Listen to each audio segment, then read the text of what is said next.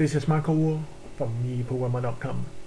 I'm going to talk about how can we solve a simple first order differential equation using MATLAB ODE 45. This is the equation we are going to solve. dy over dt is equal to minus 2y plus 3. It's very simple and standard. Now, um, we are going to MATLAB. Okay, so I have already weighed up the function. This is called dy over dt is equal to my ODE function.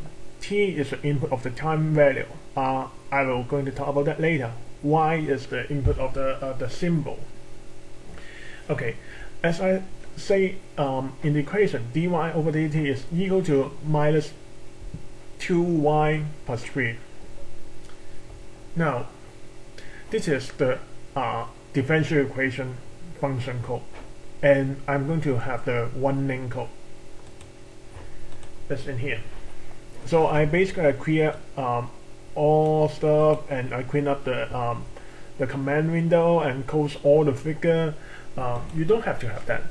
Um, okay now I have the time period is um, 0 to 10 I have the initial value for the distance which is the y is equal to 21 for the velocity is equal to 12 I have this. This is the initial this is um, the standard way to present the um, function the ODE function. ODE 45 the output is T. T basically is the uh, is the time point between like this time period. Y is the um, value for the position and the velocity that is my ODE 45 function. Time period, which is like this in here. Initial value, which is this 21 and 12. Once again, 21 is the position, uh, 12 is the velocity. And I put the first um, column, which is the distance. The second column represents the velocity. Now, I'm going to run this.